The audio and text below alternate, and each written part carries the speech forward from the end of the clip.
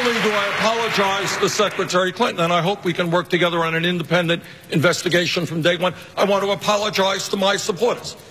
This is not the type of campaign that we run.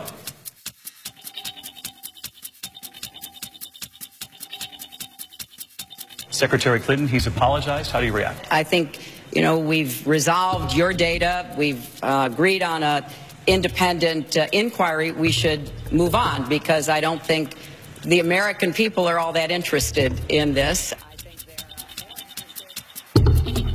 You want to know why things don't get done in Washington? Because for the last 24 hours, with those issues being so urgent to people as they tune in tonight, wondering how they're going to uh, even be able to buy presents for their kids, instead, we're listening to the bickering back and forth.